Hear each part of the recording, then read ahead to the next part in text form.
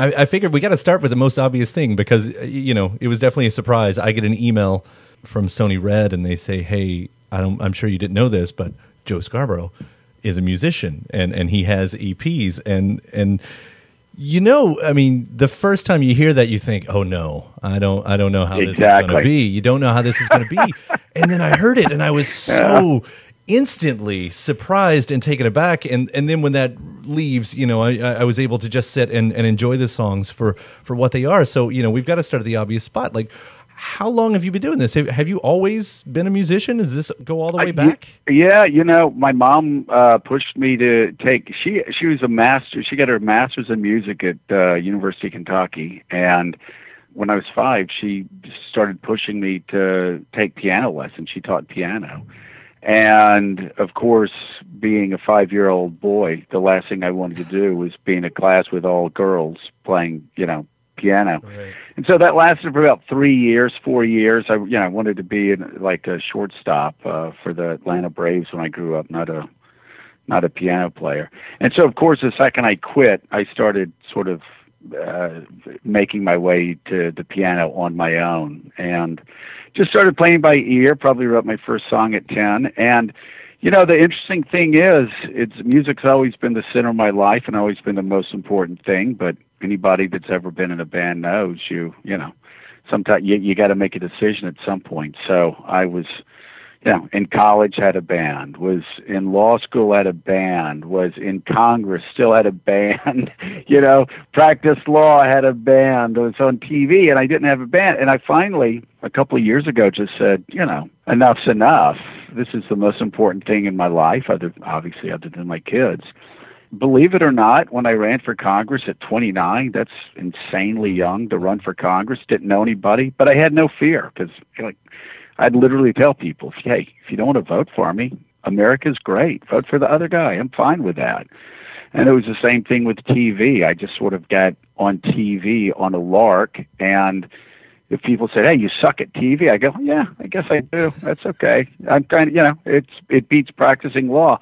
But music was the one thing that really meant a lot, meant the world to me. So it, I, I don't know. I guess I had always just recorded. I was sort of a studio rat for years, and and finally just decided to uh, take a jump and and see how it went. It's it's gone a lot better than I thought it would. Now, as uh, as a as a TV personality, and, and especially coming out of Congress, did was there any holding back when you decided I'm going to take this one public? I'm going to take Scarborough as as its own thing public. Like, did, did is, is that walking off a cliff? That is, you know, it's it's funny. It's it's sort of like me, when Meek and I started Morning Joe. We jumped off a cliff and we said, "Hey, listen, we're going to do a show different from every other show. We're not going to report on Paris Hilton and Lindsay Lohan and all the other things that everybody else was reporting about. We're just we're going to talk foreign policy and politics. We're going to have 15 minute interviews." And everybody said, "Well, you're crazy," but it worked out.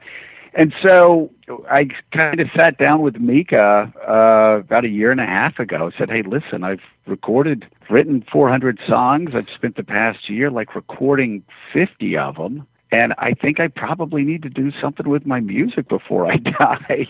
and and I said, "I'm going to get killed. Like I'm going to get slaughtered, you know. But I just think I have to do it." And she said I agree with you on both points. You're gonna they're gonna kill you, but you have to do it because I will say, you know, Mika, when we first started doing the show, I you know, I, I just never let people hear my music and she she had got got a hold of a CD and came back. She said, "You know, you're you're you're good at this. You need to do this." And so she pushed, and we started playing live. And you know, we played live every week on the Upper West Side. Got good crowds, packed the places out, and you know, and it was again, it went a lot better than Meek and I expected. We went down to South by Southwest, played there last year. That went well, and so we, you know, I I expected be a problem, but I just didn't care. I got to a stage where I said, "Well, this is what I love more than anything else. I'm going to do it, and if it goes badly, well, who cares? I, it's I'm I'm going to be finally pursuing what I love the most. it's it's I, so I was thinking about that part of it. Obviously, the getting killed, and and you know how I was talking about earlier with my first impression before I'd even heard it, that you sort of have to get past the novelty. And I thought how unfair that is for anybody that wants to do it, because ultimately, creative people are creative people, and having to tell them, "Oh no, you you were introduced to me just as a musician." That's that's the box. That's the sandbox you have to play in forever. You were just introduced to me as an actor so you can't be a musician and vice versa. It really is unfair because uh, I'll reference uh, an interview. The, the one before right. this was with uh, was with the band Rooney, which is Robert Schwartzman, the director actor, right. you know, uh, of the Coppola family and all that.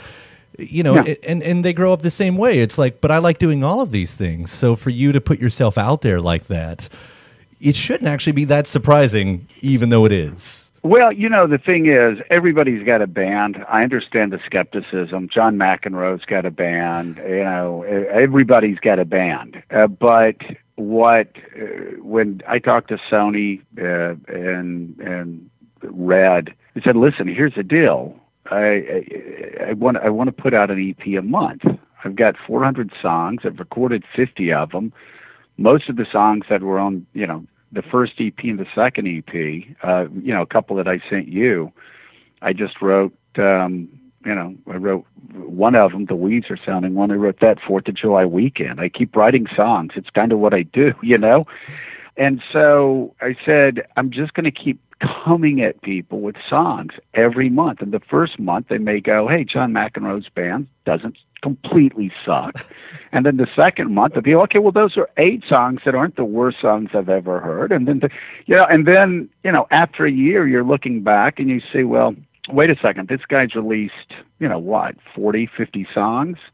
And he says he's going to do it for the next three years and they're pretty consistent and some of them I, I even like and you know it's like so I, I it, it, it is exactly, you're exactly right. It's by attrition. And at some point, you know, the music's good or it's not good. I, you know, I listen to things on Spotify not to make a statement. I listen to things on Spotify because I like, I like the songs. So at some point, it, it's, I, as I explained to Sony, I said it's, I said it's that scene in in the Tom Hanks movie, Castaway, where you know, he keeps going out and the wave just keeps coming in, knocking him back. I said, well, that's me. Every month it's going to be four more songs, and we'll just see how long it how long it lasts. Mm-hmm. And I, th- I hopefully hopefully it lasts a, a good long time. Well, I, I am a fan of these songs, and I will say, right from the beginning too, the one thing that you notice is you do so many styles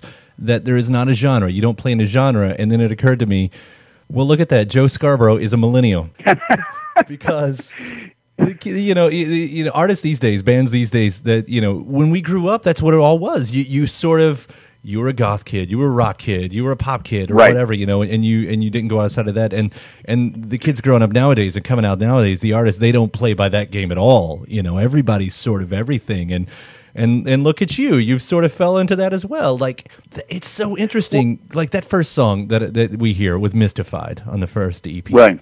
You know it's sort right. of got this 80s sort of electronic flavor to it almost industrial right. at parts. Your voice comes out like uh like the guy from psychedelic furs which i'm such a big fan of anyway and i think that's what was appealing. oh my god. Yeah. That's a that's just that's just a huge compliment. I yeah. mean yeah and, and, and but right after that, and stuff like that. Yeah, yeah, but right after that, you completely switch genres and you bring the horns in, and then there's "Let's Fall in Love," which is this great, you know, other ballad. Like, where does that come from? How do you find the ability to to be so flexible on your sounds? Well, I think that I well, first of all, you know, I've I've been around a while, so you know, I, I remember going to the record store when I wasn't around when the Hindenburg crashed, but I do remember walking to the music store and seeing uh, Murmur uh, when it first got released. Yeah. And I said, "Oh my God, what is that?" And and picked it up, took it home, listened to it, and I remember being just as excited. Uh, you know, it's so funny. I was just remembering this the other day because.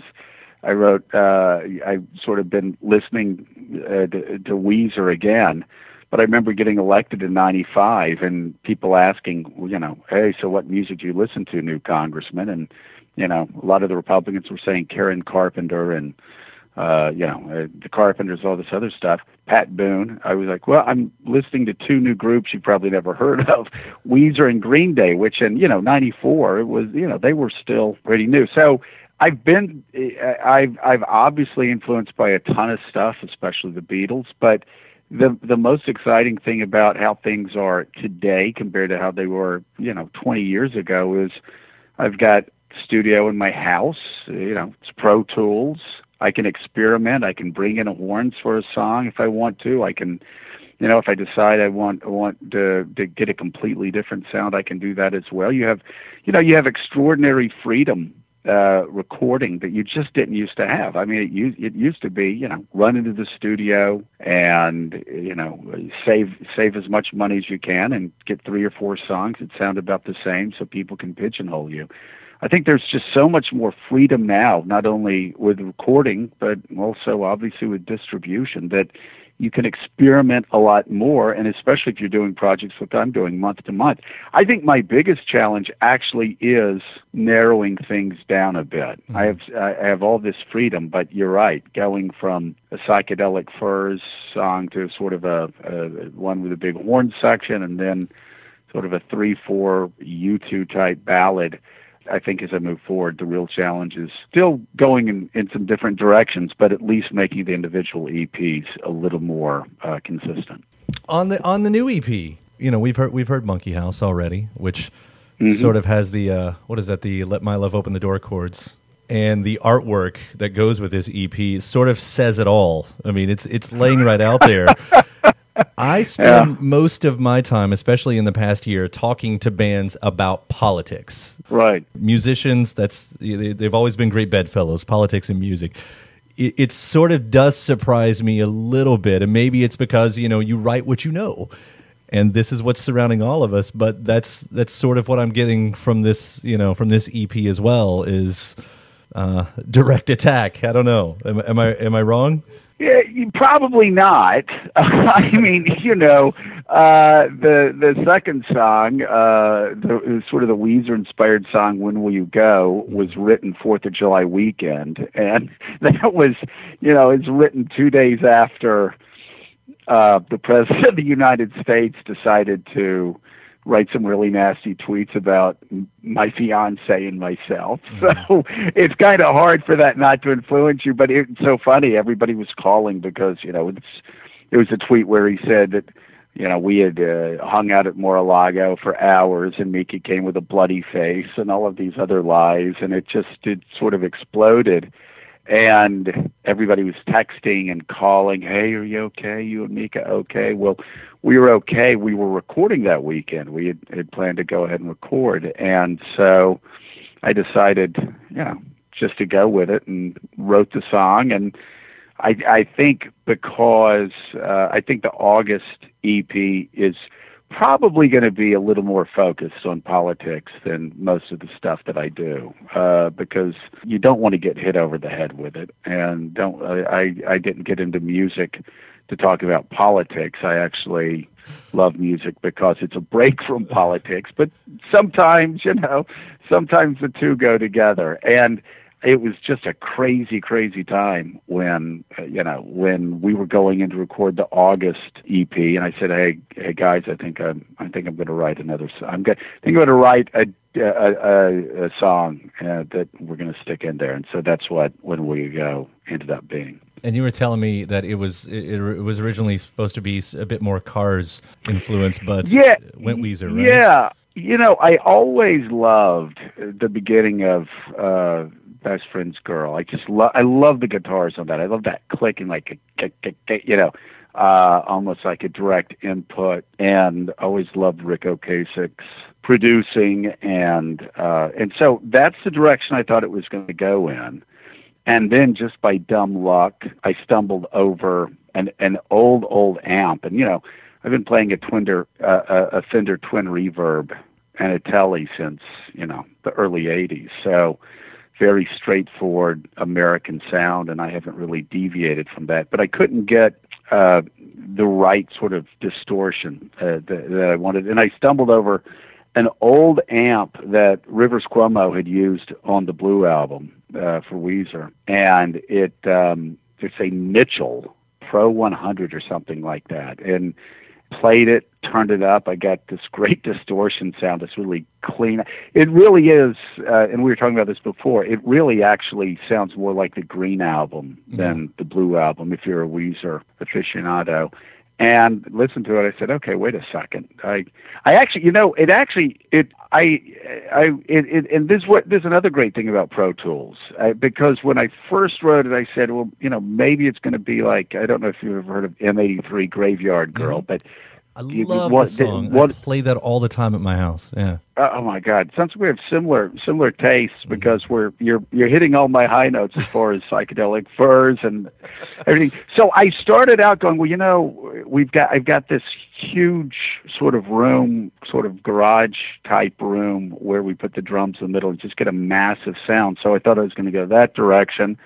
And then I said, no, wait a second. I think I'm going to tighten it up a lot, and I'm going to make it like Best Friend's Girl. And but it ended up when when I heard the amp, I said, wait a second. This is you know actually the Weezer sound might work best, and and so went that direction instead. And again, that's the exciting thing about having Pro Tools and having a studio and it's it's it's a pretty simple studio and a, a you know the the main part of it, it's a fairly small small room, but you can you can do a million different things with it, and so that's the direction we went. It's it, it's such a fun song, and again, that's what I've sort of felt about all of them so far. And the fact that you have, like, as you said, 400 songs sitting around, you know, just Yeah. just waiting with 50 of them already recorded, it's insane and awesome. And so I'm excited to hear what the rest of them are. I mean, so the two songs, you know, I've heard from this EP. What's what's left on it? Got a song called Party Line, and it was actually a song that was inspired by um, Heaven. Uh, while we're talking about psychedelic furs which was one of my one of my favorite songs uh, from the psychedelic furs, and then um, the last song is uh, is Catch Me If You Can, which is a pretty s- straightforward sort of indie rock song. So I I think there are more guitars on the second EP. The horns are are sort of reeled in a good bit. Uh, and so it, it the sound's probably a little more consistent from beginning to end, but there's still still a, a lot of different styles going on there. Well, this has been a lot of fun. Uh, I really enjoy, like I said, the EPs, and enjoy talking to you too. Yeah, that's ex- well, it's exciting. I really, re- I can't thank you enough for having me on, and um, it's it's a real thrill for me, and I I I mean that.